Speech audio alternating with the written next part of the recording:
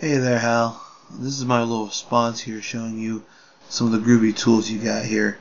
If you type in Studio in your list here, down here you have what's called the Ubuntu Studio Control. Now this is control that unlocks some of the other features you don't normally get in Ubuntu. One of them, of course, is the Ubuntu Studio Control panel. Now I don't have a webcam to show you how this works in real time, but basically the panel will give you the option to unlock your FireWire. If this bugger ever boots. There we go. Here you see it says enable raw 1394 access. This will allow you to capture without being root.